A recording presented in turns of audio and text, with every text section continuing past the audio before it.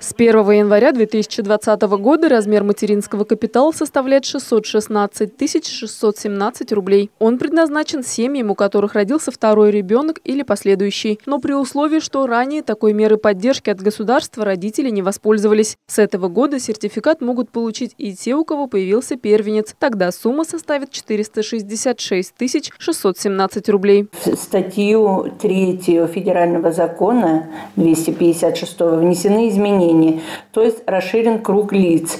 С 1 января 2020 года материнский сертификат выдается мамам, которые родили первого ребенка с 1 января 2020 года.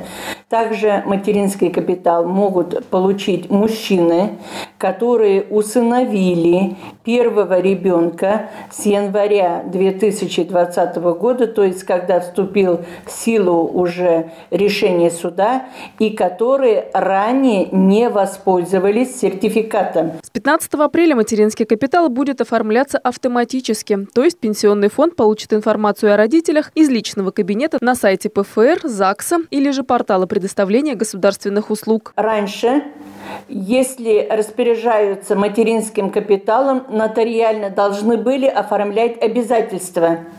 Вот это нотариальное обязательство, оно сейчас исключается, не будет надобности ходить. То есть, если они имеют материнский сертификат, они должны сразу при распоряжении выделить доли детям. Нотариальное обязательство не будет.